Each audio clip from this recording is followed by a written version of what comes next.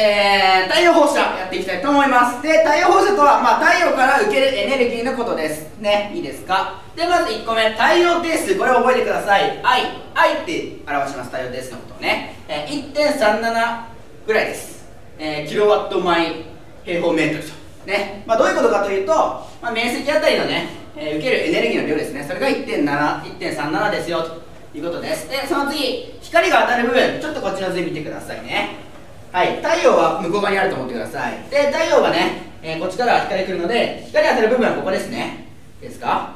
で、えー、太陽側から見るとね、えー、地球っていうのはこういうふうに見えてます。円に見えてるよね。なのでここの面積を求めてあげると πr2 乗ということなのでそれをかけてあげて、えー、太陽太陽の光が当たる部分は πr2 乗 i というふうになります。